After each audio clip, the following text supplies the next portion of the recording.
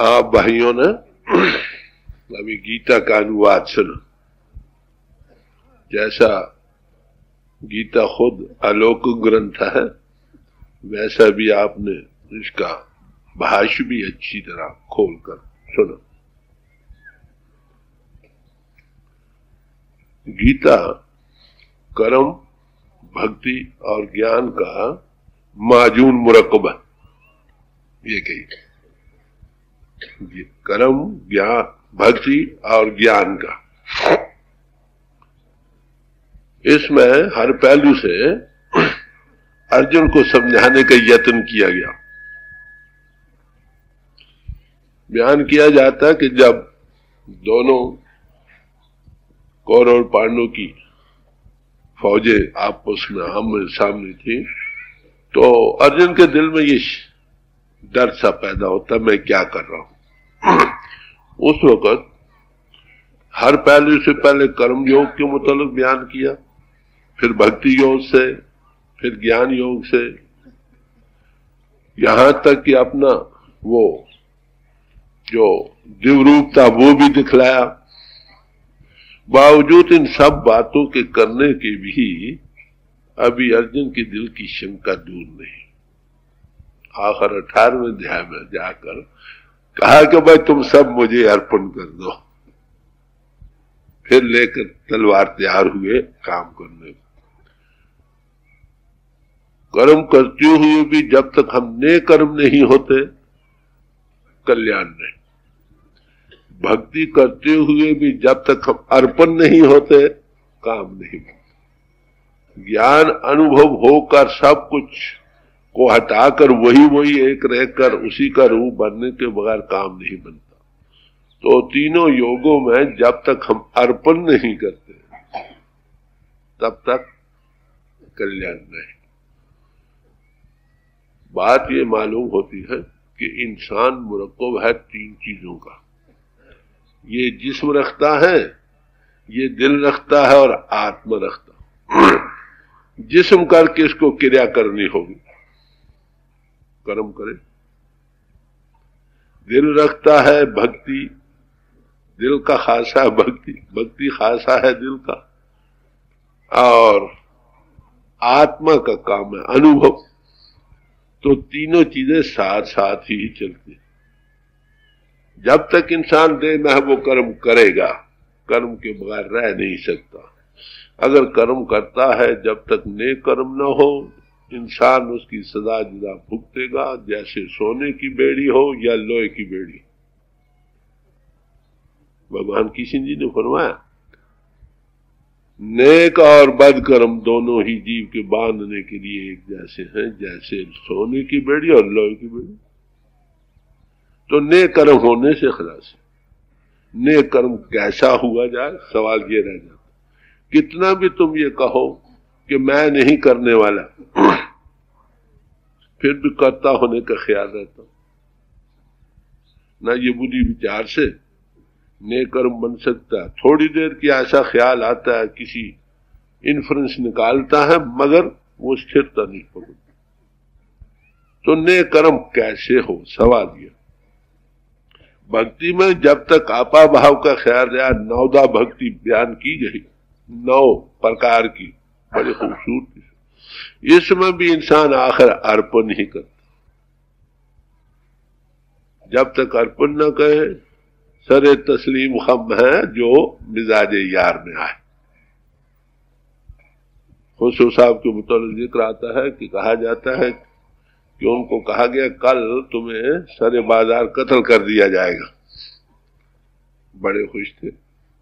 लोगों ने पूछा अरे भाई तुमको कत्ल जो किया जाएगा तो उनके दर्शन भी होंगे।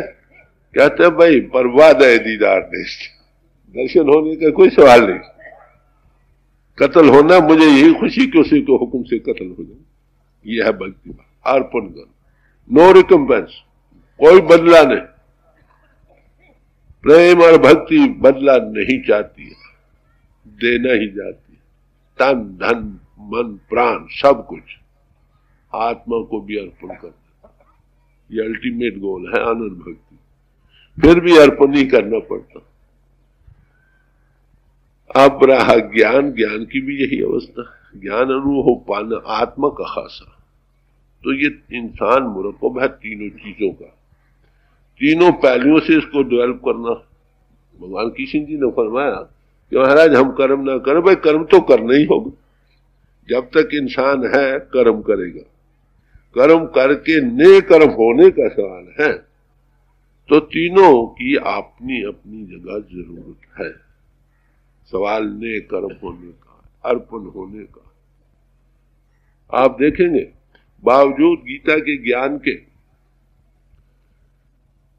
जब सब महाभारत का युद्ध खत्म हो गया तो लिखा है कि सवाय शायद युधिष्ठिर के सबको नरक दिखलाया गया। कहाँ तक ठीक है यानी ये ग्रंथों में ज़िक्र आता ज्ञान का अनुभव हो, फिर नरकू में क्यों जाए? तो ये माजून मुरकुम है बड़ा आला जब तक ये लिव अपना किया जाए, इंसान ने कर्म ना बने, तब तक भाई आना जाना रहता अब ने कर्म होने का क्या इलाज? सवाल सोनक नाम एक गृहस्थी थे। वो भारद्वाज ऋषि के पास आए। थोड़ा सा आपके आगे से कुछ नहीं, अभी तो बैठे। मैं ज़्यादा नहीं कहूँगा, दो चार दिन मिनट भारद्वाज ऋषि के पास गए तो महाराज, आप बताइए वो कौन सा ज्ञान है जिससे पाने से सब कुछ पाया हुआ हो जाता। तो बतलाने लगे, भाई, दो किस्म के ज्ञान है, एक अपरा विद्या एक परा विद्या अपरा विद्या में ये सब तारीफ़ दी, जितना भी पढ़ना, लिखना, विचारना, गाना बजाना, कीर्तन, ये वो। रसम रिवाज पूजा पाठ तीर्थ, यात्रा, ये वो सब अपरा विद्या में शामिल जिनने इनसे दो चीज़ें बनती हैं। एक तो शौक बनता है, रुचि बनती है प्रभु के पाने के लिए। दूसरा उसमें भावभक्ति बनती है। इनसे ज़मीन की तैयारी है मुक्ति में। मुक्ति, आत्म अनुभव और प्रायण होने में, हवाले होने में ने कर्म होने तो आत्मा को मन से आज़ाद करके अपने आप का अनुभव करना और प्रभु अनुभव को पाना, ये है पराविद्या। इससे कल्याण और मुक्ति सब महापुरुषों ने, अब ने कर्म होने का सवाल तब भी बनेगा जब वो कॉन्शियस को वर्कर डिवाइन प्लान का बनेगा। वो देखा, वही सब कुछ है, मैं नहीं। और वो खासा आत्मा का। सो ने कर्मी जो शब्द विचारा ने कर्म वही है जो शब्द का विचार करता शब्द किसको कहते हैं? परमात्मा शब्द है, अशब्द। वेद भगवान भी कहता है, सब महापुरुष कहता अशब्द एब्सोल्यूट गार्ड कहो अनामम तो एब्सोल्यूट गॉड को ना किसी ने देखा, ना सुना, जो इंटू बीइंग एको बौशामा हुआ, ना शब्द हुआ, वो सार गॉड इंटू एक्सप्रेशन पावर कहो। उसका जो कॉन्शियस को वर्कर बन जाता है, जिसकी आत्मा मन के घाट से आज़ाद होकर उसका देखने का अनुभव हो जाता वो कहते ही जो वो है जो कर रहा है, मैं नहीं। उस सच्चे मानो में नेकर भी होता मेरा किया कछु न हो, जो हर भावे से हो। कबीर साहब भी कहते हैं, कुकुर, कबीर, कुकुर, राम को, मुठिया मो को नाव गले हमारे जेवड़ी जाए खिंचे जाओ। जो अनुभव में जाग चुके हो, उनको तो फिर वो कहते हैं ना कि दलील तो ही तो ही दस्त। वो तो एक अंतर की दिव्य दृष्टि खुल गई, वो देखता यही सब कुछ है। अब दिव्य दृष्टि का खुलना कहाँ से होता है? गीता के चौथा, छवा, सातवां, आठवां और अठारवा अध्याय, खास करके इस विषय पर है। तो चौथे में भाई किसी जिसने अनुभव पाया उसके पास जाओ। दूसरे अंतर में दो ही मार्ग है, क्योंकि परमात्मा शब्द है, जब इंटू बींग आया, वो ज्योति स्वरूप हुआ और प्रणव की ध्वनि हुआ। अंतर दो ही मार्ग ज्योति मार्ग, एक श्रुति मार्ग। मानो उसका अनुभव कहाँ होता है? जब आदमियों के घाट से ऊपर आओ। दीप चिक्षु खुले। दीप चिक्षु खुलने पर आप देखने वाले वो अंतर की दीप चिक्षु खुलती है जिससे वो तो वही ताकत सब जगह काम कर रही है। और श्रुति मार्ग दोनों कहाँ पहुंचाते हैं? अशब्द में। तो अल्टीमेट गोल वही है। तो गीता बड़ा अलौकिक ग्रंथ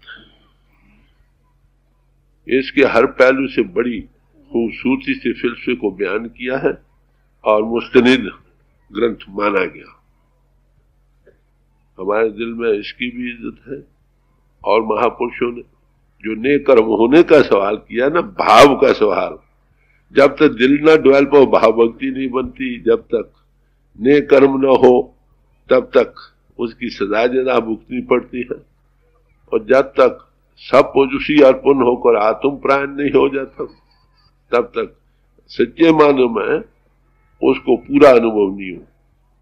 तो तीनों ही बड़े अलौकिक तरीके बयान किए गए हैं गीता में। तो वो अति सूक्ष्म और अगम है, मन इंद्रियों का विषय नहीं। इंद्रिय दमन हो, मन खड़ा हो, बुद्धि भी स्थिर हो, तब आत्मा का साक्षात्कार होता और वो अनुभव कब जागता है?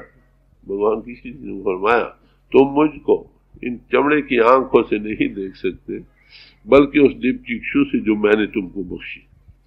जब वो दीप चिक्षु गुरु बख्शता। चौथे अध्याय में इसका ज़िक्र किया। तो जब वो दीपशु खुलती है तो वो कहते हैं संसार जो तू देखदा हर का रूप है, हर रूप नज़र आया तो कॉन्शियस कोवर कर डिवाइन प्लान का बन जाता। वो ऐसा पुरुष जिस तरफ़ काम करेगा, कर्म में लगेगा तो कर्म योगी है पूर्ण। भक्ति में है तो वो प्रायण पूर्ण। हवाले है ज्ञान योगी है तो वो सब, वो देखते मैं अपनी सेवा आप कर रहा हूँ। तो अल्टीमेट गोल वही है, जहाँ पहुँचना।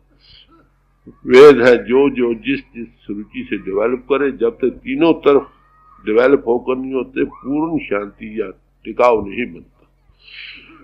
तो ये था आज हमारी बड़ी खुशकिस्मत थी कि आपने काफ़ी गीता को खोल खोल कर समझाया है हर एक भाई को।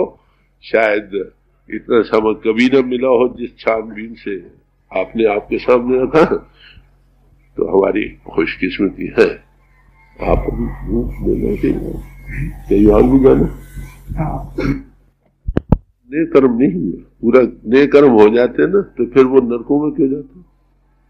आता है हमारे ग्रंथों में ज़िक्र आता तो नए कर्म होने का सवाल है, कैसे हो सकता गुरबानी में संतों ने यही जवाब दिया है, सो ने कर्मी जो शब्द विचार। जो कॉन्शियस कोवर का डिवाइन प्लान का बनता है, वही नए कर्मी। नहीं तो करता होने का ख्याल रहे। जब वो देखे मेरे में वो काम कर रहा है, ये अनुभव को जाग उठता मैं उसमें हूँ और वो मुझमें है। ऐसा पुरुष अगर ये कहता है कि मैं आहम ब्रह्मी तो ठीक है। जो मन के घाट और बुद्धि के विचार में बैठा है, अगर वो कहता है आहम ब्रह्मी कहाँ तक दोस्त है? एक आदमी एम पास होकर कहता है, मैं एम पास हूँ, ठीक है, इकरार करता हूँ। एक आदमी पहली जमात पढ़ रहा है, दूसरी पढ़ रहा है, वो कहते मैं मैं हूँ। तो अनुभव का सवाल है, जो कर्म करके ने कर्म हो जाए, ये देखिए कौन हो सकता। कोई ना कोई आशा लगी रहती। भक्ति करते हो कुछ न कुछ ख्याल रिकम्पेंस का रहता। तो अर्पण करने का हवाले होने का सवाल। है हार परे स्वामी के द्वारे बूझे दीजे बुद्ध बोबे का। गीता का सारा सिलसिला आखिरकार के हवाले करो। परमात्मा के और गुरु जो हवाले हो गया, वो कामयाब हो गया। क्योंकि हवाले करने में करता होने का ख्याल नहीं रहता। मन हवाले होता भी नहीं। बता दे। विराट रूप भी देखा, भगवान किशन जी ने दिखाया। उसका दिल शक्की है। इतने देखने पर भी यकीन नहीं आता फिर और कई तरह से ज्ञान दिया। तो गीता बड़ा एक अलौकिक ग्रंथ है। माजून मरकुम है। सच पूछते हो? इसके बनाने वाला के मुतलक बहुत सारे ख्याल ऐसे हैं। स्वामी विवेकानंद जी ने इसके बारे में पहली जो चीज़ थी, थी ना वो विवेकानंद वर्क्स क्या दस या ग्यारह वाल्यूम में थे। पहली वाल्यूम में उन्होंने कुछ तारा सबूत दिए हैं कि ये भगवान की सिंधी की इंटरप्रिटेशन है। है बड़ी आला चीज़। किसी ने बड़ा अलग यानी माजून मुरक्ब बनाकर जैसे होते हैं ताकत की कोई किताब लिखनी हो तो सेंडो ने ये कहा रुस्तम ने ये कहा। ताकि मुस्तनिद हो जाए, ऐसी भगवान की अर्पण की ये स्वामी विवेकानंद जी का ख्याल तो हमारा इससे गर्ज नहीं, इसके बनाने वाला कौन? अरे भाई, जो इसमें दिया है ना, तालीम बहुत आला। कर्म योग ने कर्म हो, ठीक है, करो। कर्म के बगैर आप रह नहीं सकते। जब तक आप कर्म करेंगे ना, सदा जुदा भुगतनी पड़ेगी तो करता होने का ख्याल। भक्ति करोगे, जब तक जो उसी की मर्ज़ी पर हो, अपनी पोजीशन कोई ना रहे, तभी हकीकत खोलेगी। पर साथ साथ दिल भी डेवलप करे, जिस्म भी करे और आत्मा भी करे। साइस ब्लेसिड इज़ मैन जब तक तीनों पहलुओं से इंसान डेवलप नहीं करता, पूर्ण इंसान नहीं बनता। तो गीता का बड़ा अच्छा हमारी खुशकिस्मती है कि ऐसे तो शायद पढ़कर इतनी ज़्यादा समझ ना आती। मैंने खोल खोल कर समझाया। हाँ इन्होंने खुद भी गीता का अनुवाद किया। अच्छे गुनी ज्ञानी है। और साफ़ को मुझे ये बड़ी खुशी है। मैं हमेशा इनको याद करता हूँ। इतफाक से तशीफ लाई है। तो उनके सेवक आया ज़िक्र किया मैंने कहा बड़ी खुशी है। मैं तो हमेशा सब महापुरुषों से मिलता रहता हूँ। मतलब तो चीज़ है कि, कि हम पुजारी हैं। हकीकत को समझना थ्योरी को ग्रैस कर लेंगे तो जो प्रैक्टिस है उसमें कामयाब हो जाए। तो जितनी धर्म पुस्तकें हैं they are so many pages of the book of God वो परमात्मा की किताब के इतने सफे लिखे जा चुके एंड देर मैनी मोर में भी रिटर्न जब जब महापुरुष आएँगे ट्रुथ इज़ वन उसका जब जब अनुभव कर, करेंगे बयान करेंगे। चीज़ वही होगा तर्ज बयान अपना होगा। नव से मज़बूत वही होगा। गुरु नानक साहब ने फरमाया कि परमात्मा के कई तरीकों से, जपजी साहब की एक पौड़ी इसी पर है, कई तरीकों से परमात्मा का बयान किया महापुरुषों ने। किसी ने तो ये किया कि वो ऑल पावरफुल है। वो भी बुद्धि विचार के मुताबिक इंसान बयान कर सकता। किसी ने कहा, नहीं भाई, वो, उसका जानना बुद्धि के दायरे में नहीं बड़ा कठिन हो नहीं सकता इट इज़ इम्पॉसिबल और वाकई बुद्धि नहीं ग्रास कर सकती। ये हृदय को प्रीषित कहता हूँ कि परमात्मा को बुद्धि के दायरे में क्रैश लाना इतना ही नामुमकिन है जितना शराब के पीने से प्यास का बुझना नामुमकिन है। और जैसे रेत में से तेल का निकलना नामुमकिन पता हूँ, वह बयान करते हैं कई ऐसे करते हैं कि आसमानों पर परमात्मा बैठा दूर से करते हैं कई कहते वो परिपूर्ण कई तरीकों से उसको बयान किया। फिर आखिर क्या कहते हैं? कथना कथी नावे तोट कथ कथ कथी कोटि कोट को। यानी लोग कथ कथ कर हार गए बयान कर करके। मगर वो मजमून ऐश फ्रेश रहा। फिर यहाँ तक फरमाया एते कीते होर करे ताबी आख न सके कहीं जितने महापुरुष आज दिन तक आए हैं, कहते इतने और भी आ जाए तो फिर भी वो बयान में नहीं आ नहीं सके। सदियों से फिलासफी की चुनाव चुनी रही, मगर खुदा की बात जहाँ थी वही। अनसेड एज अवा तो हमारे दिल में सब धर्म पुस्तकों के लिए इज़्ज़त है। जो उसमें दिया उसका डाइजेस्ट कब निकलेगा जब किसी आमिल को इससे सुनोगे। नहीं तो book is knowledge is wilderness no way out reconcile नहीं कर सकता ना। कोई कहता है कर्म योग ही सब कुछ है, कोई कहता है भक्ति योग ही सब कुछ है, कोई कहते हैं ज्ञान योग। ही अरे भाई, इंसान के तीन पहलू, तीनों पहलुओं से डेवलप करना। कर्म का तलक जिसम से, भक्ति का तलक दिल से। अनुभव का तलक आत्मा तो मुकम्मल इंसान तभी बनता है जब तीनों पहलुओं से डेवलप कर जाए। और ये रह गया एक प्रैक्टिकल मजमून। उसके लिए फिर चौथे जहाँ बड़ा खोल खोल कर समझाया कि अगर तुम तुम्हारे परमात्मा के पाने की ख्वाहिश है तो किसी ऐसे महात्मा के पास जाओ जो अंतर में परमात्मा के दर्शन करते हैं। फिर कहते हैं नेक नियति से सवाल जवाब करके हर एक सवाल का जवाब लो। जब तुम्हारी तसल्ली हो, फिर जो वो कहे करो तुम भी। ज्ञान का अनुभव करने लगना तो ज्ञान का अनुभव, जो अनुभवी पुरुष ही दे सकेगा राजा जन को अनुभव दे सका अष्टवक इन के घाट से सेल्फ एनालिसिस करके फ़र्स्ट एक्सपीरियंस लिया। और पूछा, क्यों भाई? ज्ञान का अनुभव हो गया। जब तक वे अपना अंतर में दो ही मारेंगे एक ज्योति मारेंगे एक श्रुति मारेंगे देवयान पंथ, गीता में सातवीं अध्याय में ज़िक्र आता कि जो देवयान पंथ में रू जाती है, वो फिर वापस नहीं आती। तो नूर का मार्ग है। पर नूर के मार्ग में भी बाद वो इंसान नूर से घिर जाता है, नो वे आउट। वो रास्ता निकलने को नहीं देता। वहाँ पर श्रुति मार्ग का, उदगीत जिसको कहते तो दोनों ही are two way back to God जो जाए पिंड से ऊपर आने के लिए तो किसी तरीके से आ जाओ। पर जब तक ऊपर आकर, जब अनवे पुरुष वो ये तो नहीं करते जंगलों वो कहते कर्म करो। तुम जिसम रखते हो। भाव भक्ति के गुनावाद अनुभवी पुरुष गाते उसी नशे में चले जाओ। वेद भगवान में, जहाँ भक्ति का ज़िक्र किया, कमाल किया, वहाँ पर स्त्री रूप करके भाव बयान किया। क्राइस्ट ने बयान किया उसी ने ऐसा ही किया। गुरुवाणी में गुरु साहबों ने बयान किया तो वही किया। स्त्री रूप चेरी की न्याय। सोबत नहीं बिन भरदार है।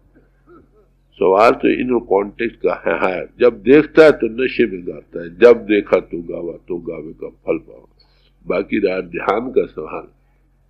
बिन देखे कैसे को ध्यान परमात्मा को देखा नहीं, भाई, कैसा ध्यान बनेगा? अपना बनाया होगा ना? मैं आपको कहता हूँ, भगवान कृष्ण जी की तस्वीर है, गुरु नानक साहब की तस्वीर है। तस्वीरें है ना? जो पहली थी, भगवान कृष्ण की तस्वीर, लाहौर में एक मुसलमान आर्टिस्ट है, उसने ये प्रेजेंट जो है ना, ये उसकी बनाई हुई है। बड़ी अच्छी इंप्रेसिव है। आजकल ये चल रही गुरु नानक साहब की मैंने कई फ़ोटो देखी, बनी हुई। किसी ने तो खूब अच्छा डबल बना दिया, बंगालियों ने पतला बना दिया। तो it is our own bake मेरे कहने का मतलब किस रूप का ध्यान करना चाहिए। तो जब तक देखे नहीं, ध्यान नहीं। मैं जब इंग्लैंड में था, मैंने वहाँ टाक एक दी कि you can not pray God with hands कि तुम परमात्मा की पूजा, हाथ, कर्म इंद्रिय इंद्रों के घाट से नहीं। और परमात्मा कहा रहता है? कहते वो जो इंसानी हाथों से, पत्थर से बनाए गए, हम कहा उनमें भी नहीं रहता? जगह जगह ये है वो तुम में है, ये श्री हरि मंदिर है, जिसमें सच्ची की जो। तो वो आदमी उठे, कह रहे, भाई, तुमने एक लफज कहने से हमारे सब चर्चियानिटी पर एटम बम गिरा दिया। तो अपरा विद्या से मुक्ति नहीं। क्लियर कट भी हुआ। ज़मीन की तैयारी है, दिल में रुचि का पैदा होना, शौक का बनना। अनुभव से मुक्ति। कॉन्शियस को वर्कर डिवाइन प्लान के बनने से। मगर जब तक अपने आप को ना अनुभव करे, सब वेद शास्त्र यही कहते हैं कि तुम अपने आप को जानो। जब तक हम अपने आप को नहीं जानते ना, परमात्मा अनुभव को नहीं पाते। तो इसीलिए कहा सेल्फ नॉलेज प्रीसीज गॉड तो सेल्फ नॉलेज के लिए अपने आप को जानो उपनिषद कह रहे हैं यही ओल्ड इजिप्शियंस कहते थे नॉर्थ ईस्टर्न यही चेतन रूप विचारो अपना स्वामी जी महाराज फरमाते हैं, यही गुरु नानक साहब फरमाते हैं कौ नानक बिना पाची ने मिटे न भ्रम की काय?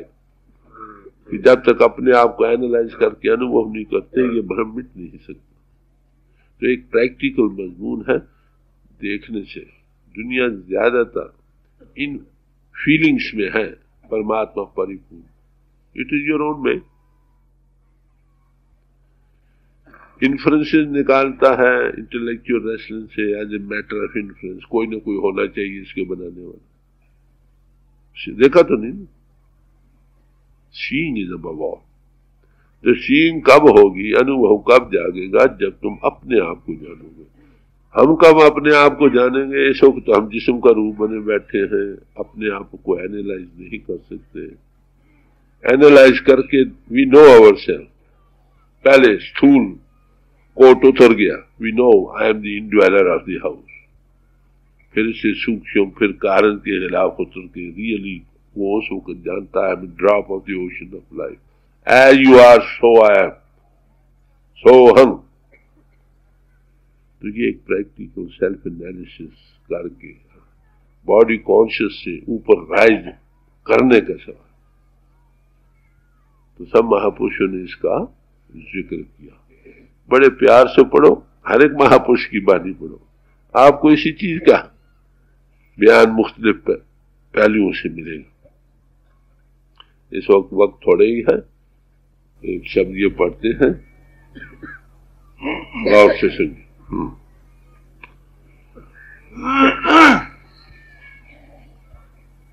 रमैया मैं तो रमैया मैं तो थारे रंग राती। रामैया मैं तो थारे औरन के पिया परदेश बसत है। औरन के पिया परदेश बसत है। लिख लिख भेजे पाती ओ लिख लिख भेजे पाती। मेरा पिया मेरे हृदय बसत है गूंज करे दिन राती अनुभव का सवाल मेरा पिया मेरे हृदय बसत है गूंज करे दिन राती। रामैया, मैं तो थारे रंग राती। सुहा चोला, पहर सखीरी। सुहा चोला, पहर सखीरी। मैं झुरमट खेलन जाती हो। झुरमुट खेलन जाती। झुरमुट में मोहे मोहन मिलया। झुरमुट में मोहे मोहन मिलया। खोल मिलूं गल बाठी रामैया, मैं तो थारे रंग राती रामैया, मैं तो थारे रंग राती। और सखी पी पी मद माती, और सखी मद पी माती, मैं बिन पिया मद माती। मैं बिन पिया मद माती। प्रेम भट्टी को मैं मद पियो, छकी फिरूं दिन राती। प्रेम भट्टी को मैं मद पियो। छकी फिरूं दिन राती। रामैया, मैं तो थारे रंग राती। सुरत निरत का दियला संजोया।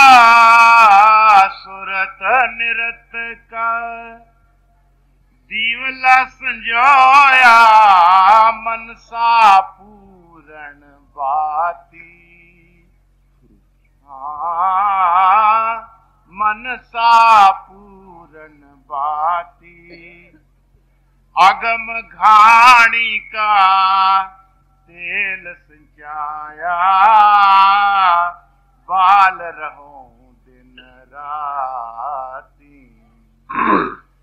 अगम घाणी का तेल संज सिंचाया। बाल रहूँ दिन राती। रामैया मैं तो थारे रंग राती। जाऊँ ना पिहारी वे जाऊँ ना ससुर वे जाऊँ ना पियर वे जाऊँ ना सुसर वे मैं सतगुरु सैन लगाती सकीरी सतगुरु सैन लगाती दासी मीरा के प्रभु गिरधर हरि चरना की मैं दासी। दासी मीरा के प्रभु गिरधर हो। हरि चरना की मैं दासी। रामैया, मैं तो थारे रंग राती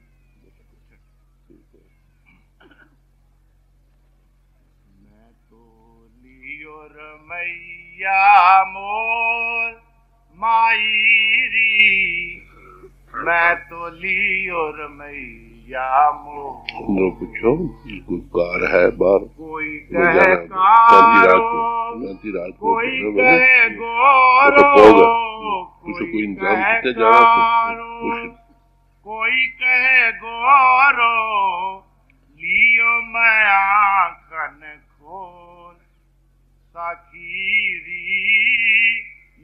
लियो मैं आंखन खोल माई मैं तो लियो रमैया मोर कोई कहे हल्का, कोई कहे भारी, कोई कहे हल्का, कोई कहे भारी, लियो है तराजू तो माईरी लियो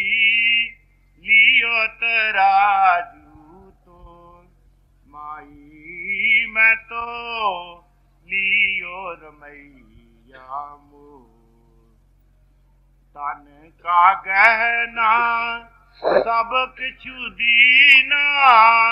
तन का गहना, सब कुछ दीना। दियो है बाजू बंद खोल। माई, दियो है बाजू बंद खोल। मीरा के प्रभु गिरधर नागर। मीरा के प्रभु गिरधर नागर। पूरब जन्म का है कौल माई मैं तो लियो रम